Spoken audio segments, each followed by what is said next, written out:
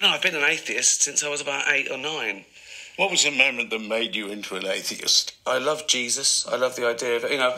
I love the idea of Jesus because he was a like a superhero. Uh, the, the the God bit wasn't so special to me, but I love Jesus because he was kind and you know I read the stories in the New Testament about what Yeah. I thought it was brilliant, brilliant bloke. Well, that's the way to be. Like, Be like be like Jesus, you know. And I remember I was doing the Bible studies and stuff, and my brother Bob came in, who was 11 years older than me, so he was about 19, and he just went, um, "Why do you believe in God?"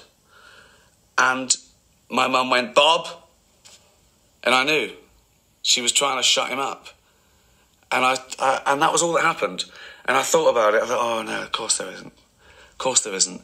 And I'd already sort of, I was always into science and nature. And I thought, yeah, it doesn't make sense, does it? Doesn't make sense. And you know, it, you know, I, I understand why. You know, at the time it seems like a good lie. You know, to to a working class mum, Jesus is an unpaid babysitter. You know, if I can't, if I'm not watching you, someone is. You know, they they do it for for good reason. I, I think, and um, religion's greatest trick wasn't making people some believe there there was a God. It was it was telling you you shouldn't ever ridicule the idea that it was sacred to to uh, to question this dogma, and of course it's not. And uh, as both a, a scientist, a bit of a philosopher, and a professional comedian, um, that is so important to me that nothing's sacred. Nothing should be beyond a joke.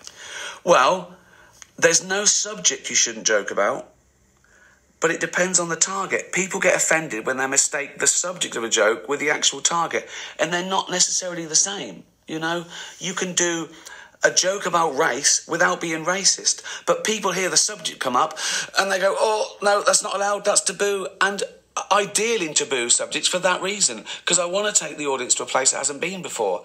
Uh, when I start a routine, I can feel the tension and then I come down on the right side, and everyone gasps and laughs. You know, I've taken them through a scary forest, and uh, and that's what humour's for. It's to make us laugh at bad things. That's what it's for. It's to get us over bad.